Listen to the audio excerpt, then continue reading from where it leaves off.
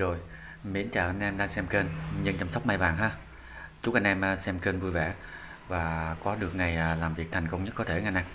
Hôm nay là ngày à, 13 tháng giêng rồi ha, tháng 1 á, tháng 1 âm lịch ha. Xài mình chơi mai, chăm mai thì mình xài lịch âm anh em. Thì cũng như chơi các cây hoa kiển cũng vậy, xài lịch âm là đa phần. Trong clip ngày hôm nay mình chia sẻ đến với anh em khán giả mới tập chơi, mới biết kênh của mình sau này á ha. Thì cái cách để mình sử dụng các những cái loại phân thuốc trên cây mai cho nó hợp lý từ đầu năm đến cuối năm luôn anh em. Nhưng mình à, cũng nói thẳng trước luôn ha.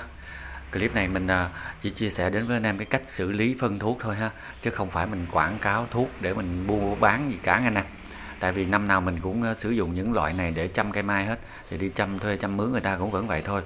Xài thấy hiệu quả thì mình giữ cái nhịp này mình xài.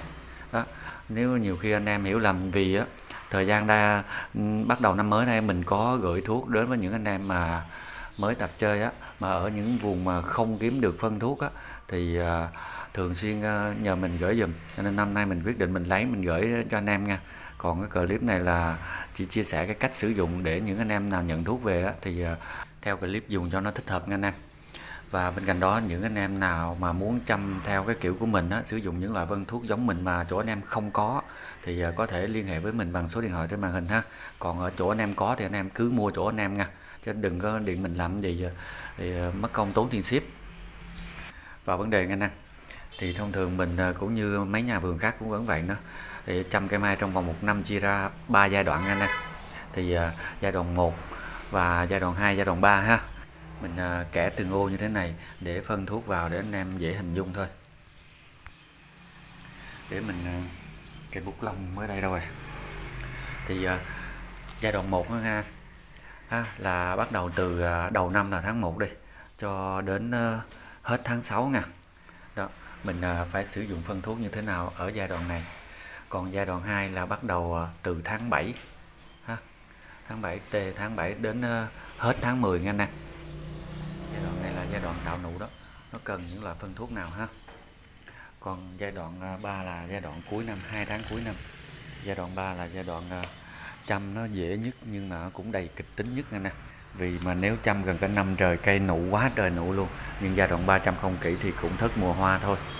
Đây, mình để ra tùm lum thuốc nè phân bón nè ha, ở giai đoạn 1 nhưng mà anh em à, đừng có nghĩ là chỉ trong giai đoạn 1 mới xài những loại phân thuốc này thôi nha anh em mà là ở giai đoạn 2 ha, cũng có một số phân thuốc ở bên này chuyển qua giai đoạn 2 xài tiếp và chuyển qua giai đoạn 3 luôn. Đó có những loại phân thuốc mà xài nguyên năm luôn. Nhưng mà giai đoạn 1 thì xài những loại này ha từ tháng 1 đến tháng 6 nói thì nói từ tháng 1 đến tháng 6 rồi đó chứ thực sự ra trong tháng 1 này á mình chỉ tập trung kích rễ cho cây thôi nè. Ha, và bên cạnh đó cũng có một số thuốc uh, trừ sâu và bò trĩ. Như anh em ờ, cũng đã từng biết các clip trước của mình rồi tháng 1 là mình dùng à, cái loại này nè, là Ridomingol ha, và Atonit và humic mình à, tưới vào gốc cho cây anh em. Cái này bỏ ra đi. Đó, mình dùng cái bộ ba này ha. Humic nè, Atonit và Ridomingol. Hồi trước mình xài, mình à, đổ vào trong cái lọ này nè cái hũ này ha. Gói gói một ký humic của Mỹ nha nè nó sẽ tốt hơn humic của hợp trí và nó mắc hơn rồi mỗi tuần mình tưới một lần anh em. Nhưng mà lần đầu tiên thì mình à, tưới bộ ba này ha. Còn lần thứ hai trở đi thì mình bỏ humid và ridomingol ra. Mình chỉ tưới atonit thôi nha anh em. Bỏ humid này ra, với ridomingol ra luôn.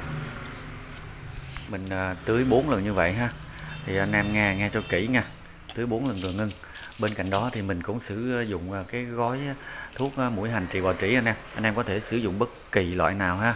Không nhất nhất phải loại này đâu thì mình có loại nào thì mình xài loại đó mỗi tuần mình à, cũng phun phòng một lần ha. À, phun à, khi cây chưa nứt tược nha anh em. Kế tiếp nữa thì cái này đang trong tháng 1 anh em. Mình cũng sử dụng gói Atonit và cái lọ Amirin này nè. Mình có clip rồi đó. Mình phun lên thân cành để mà phục hồi lại cây sau khi cây đã mất quá nhiều sức á. Rồi Atonit thì nó giúp cho cây mau bực mầm. Còn Amirin này nó lấy lại thể lực của cây nè. Amirin này mình cũng có nói kỹ rồi. Là anh em cái này là thành phần, anh em xem công dụng của nó nè. Phục hồi cây à, sau khi à, cho hoa đó, thì nó cũng đúng ý của mình rồi. Thì à, có cái này xài sẽ tốt hơn ha. Còn anh em không có bộ đôi này anh em có thể sử dụng Atonit và Terasort 4 ha. Nó chứa phần lớn amino acid đó. Mỗi tuần một lần anh em, phun hết tháng 1 là được rồi.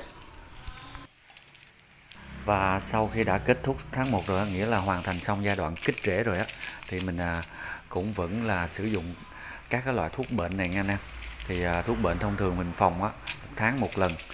Sâu và bọ trĩ cũng phải phòng. Khi cây muốn mình muốn cho cây đi đọt non thì mình phải sử dụng phun phòng một tuần một lần ha. Bệnh thì một tháng bọ trĩ thì một tuần một lần. Cái gói Antracon này cũng là thuốc bệnh nha anh em thì anh em nào có thì xài không có xài riromin Gold không cũng được. Nhưng Antracon này á là nó đặc trị tháng thư và bệnh đốm lá rất là hay nha anh em đó, thì anh em nào không có Antracon thì xài ridomingol không cũng được nhưng mà có sẽ tốt hơn mà. Và khi mà mình đã hoàn thành xong tháng 1 nghĩa là mình đã kích rễ xong rồi á thì mình à, không dùng Atonix nữa mà chuyển qua N3M anh em. Ha, ra rễ cực mạnh nè. Cái này là một dạng phân bón lá NPK người ta có ghi rõ ràng anh em. Không phải thuốc kích rễ đâu anh em đừng có dùng cái loại N3M này để kích rễ. Đó, đạm là 11% ha. Đó, lân thì à, nó 3% và kali thì 2,5% ha đây là dạng phân bón lá NPK nhẹ nha anh em nó sau khi mình kích rễ xong mình tập cho nó ăn NPK và là N3M là được rồi. Thông thường thì mỗi tháng một lần anh em. Đúng liều lượng ha. Liều lượng thì anh em có thể uh, nghiên cứu trên bao bì ha. Hoặc là mình sẽ ra video uh, từ từ. Chứ ờ, giờ mình nói hết trơn thì nó lâu lắm trong một video á. Từng món từng món sử dụng sao lâu lắm. Bên cạnh đó trong giai đoạn 1 này á thì anh em cần sử dụng cái loại trung vi lượng là đặc biệt là có phần lớn magie và kẽm nha anh em. Anh em có thể sử dụng loại khác nhưng mà anh em đọc trong thành phần đó, có magie và kẽm tương đối nhiều một tí đi để cho nó giúp cho lá nó to hơn nó xanh hơn nó dày hơn á. À, tránh cái hiện tượng mà vàng lá gân xanh á là do thiếu trung vi lượng là magie và kẽm nè.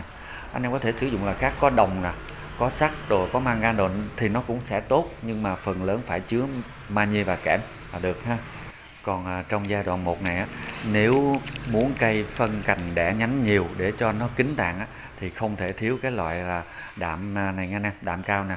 Ở đây là cái loại là của Đức 29 10 10 ha. Hồi năm trước mình à, xài là 30 10 10 của Mỹ cộng TA nhưng mà năm nay mình sẽ đổi qua cái dạng này nó vì có chứa là magie magneo nè magneo oxit rồi gì đó. Nó nó có cộng cái này nhiều vào thì có thể sẽ tốt hơn ha, lá sẽ xanh dày bóng hơn. Đó. thì à, 29 10 10 cũng gần như 30 10 10 đạm thì 29 29 với 30 cũng ngang ngang nhau nè. Nên mình à, chuyển qua cái loại này để mà xanh lá dày lá lên ha. Đó mỗi tháng cũng một lần thôi anh em. Đừng sử dụng quá liều ha. Liều lượng thì có ghi ở trên đây hết trơn nè. Phân bón thì anh em có thể sử dụng từ bằng hoặc ít hơn đi cho nó đảm bảo nha. Anh em mà sử dụng à, dư liều hoặc là uh, sử dụng dày quá giả sử người ta tháng sử dụng lần, anh em nửa tháng sử dụng lần á, có thể cây sẽ dư, chịu không nổi ha. Cây thiếu phân không chết, dư phân sẽ chết nha anh em. Đó là giai đoạn 1 mà những cái loại phân thuốc mà mình à, cần à, sử dụng à, cho cây phân chồi đẻ nhánh là như vậy nha anh em cũng như là kích rễ như thế nào. Anh em nào mà nghe chưa kỹ thì có thể liên hệ trực tiếp với mình, hoặc là mình ra video thường xuyên. Mình sử ờ, dụng cái gì vào tháng nào, vào ngày nào thì mình ra video đều đặn hết. Anh em có thời gian thì đón xem để mà làm cùng nhịp với mình cho vui ha. Và chuyển qua giai đoạn thứ hai á, là giai đoạn từ đầu tháng 7 đến mà hết tháng 10 nha anh em. Ha, thì ờ, những loại của xài của giai đoạn 1 thì mình vẫn xài ở giai đoạn 2 được. Là trừ cái loại đạm cao ra thôi ha. còn những loại thuốc bệnh, thuốc sâu và bọ trĩ và gì đó còn à, trung vi lượng là như thế nào mình cũng vẫn phải xài luôn trong giai đoạn 2 đó, humid này thì à, khoảng 3 tháng anh em xài một lần là được ha. giờ đã hết thời gian kích rễ rồi bây giờ là 3 tháng xài một lần hoặc hai tháng xài một lần là để cải tạo đất trong à, trong chậu á, để cho nó tốt hơn nói chung á, trừ tháng thứ nhất của đầu năm mình kích rễ thì à, ba giai đoạn nó khác nhau chỉ mình thay đổi cái lượng NPK đưa vào thôi nè. Và sau tháng 1 rồi thì mình cũng à, không cần amirin để phục hồi cây nữa đâu. Nó đã phục hồi sau tháng 1 rồi mà. À, Adonis này thì mình cũng à, không cần luôn anh em à, chỉ đổi qua N3M rồi tại vì cây đã được kích rễ rồi. Những loại ở giai đoạn 2 này nha anh em ha.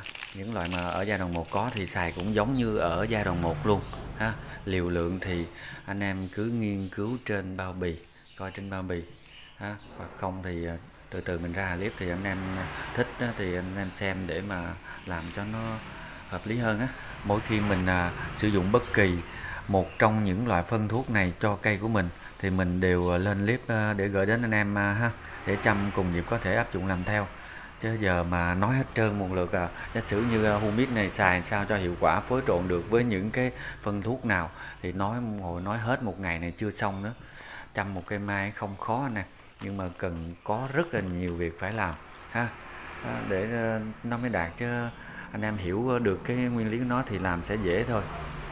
Chỉ có cái loại à, à, NPK này nè sau giai đoạn thứ hai là nó hơi khác tí. Anh em tăng cái số giữa cao lên để cho giai đoạn thứ hai giai đoạn tạo nụ mà ha giai đoạn đầu thì à, số đầu cao lên, ha, còn giai đoạn thứ hai là số giữa cao lên là số thứ hai cao lên đó còn giai đoạn thứ ba thì số cuối cao lên là đương nhiên chút nói ha hỗ trợ cây ra hoa nè, khi mình đưa lưng cao lên đó chữ cũng đã mờ rồi anh em, mà cái máy mình nó còn mờ hơn nữa cho nên à, cũng hơi khó thấy ha đó. anh em có thể sử dụng 10 50 10 hoặc 10 60 10 trong giai đoạn 2 này được, hoặc 6 30 30 cũng vẫn được anh em mình tăng lưng cao lên để mình tạo nụ cho cây, làm nụ cho cây những anh em năm trước cùng làm với mình thì hiểu rồi.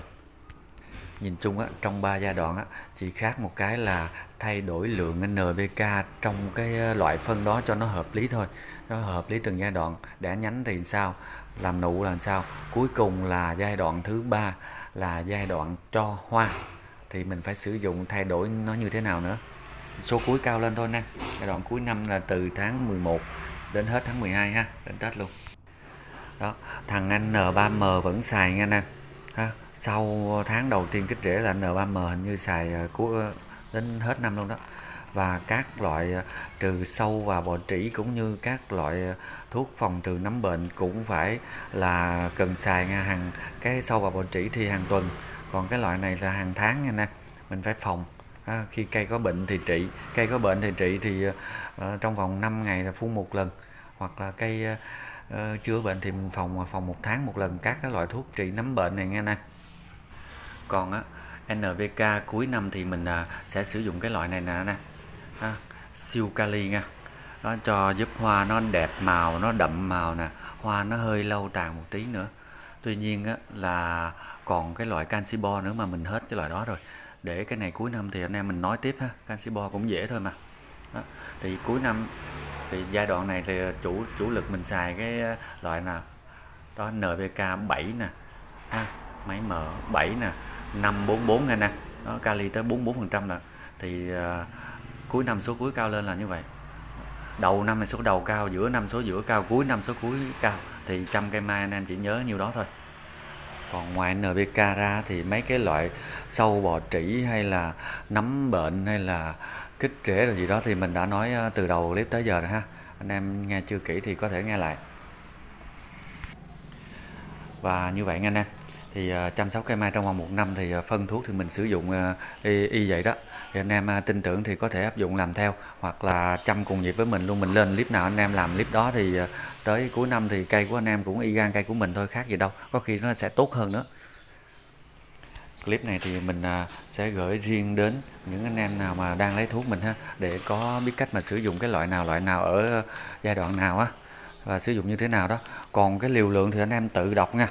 Cái này thì mình chỉ nói cái cách sử dụng à, một tháng sử dụng một lần vậy vậy đó à, trong thời điểm nào đó. Còn liều lượng thì anh em phải đọc kỹ cho mình nói riêng từng liều lượng nữa cái lâu lắm. Thôi mình dừng clip ở đây nha anh em thì anh em xem clip á, thấy rút ra được những gì đó hữu ích cho mình trong cái việc à, chăm sóc cây mai từ đầu năm tới cuối năm á, thì vui lòng cho mình xin một like trong clip này ha để giúp cho clip được YouTube đề xuất nhiều hơn xuất hiện được à, đến nhiều anh em khán giả mới tập chơi hơn còn à, những anh em nào yêu mến kênh á, thì nhớ ấn vào đăng ký ha rồi ấn vào quả chuông rồi ấn vào chữ tất cả. Đừng thiếu một trong ba bước này anh em. Thì mỗi khi mình lên clip youtube mới báo về máy cho anh em trong vòng một giây được. Còn anh em thiếu một trong ba bước hoặc không làm cái gì cả thì youtube sẽ không báo về máy anh em đâu nha. Và mình à, lên clip thì anh em không bao giờ thấy được. Thôi chào tạm biệt anh em ha. Hẹn gặp lại anh em trong những clip tiếp theo. Bye bye.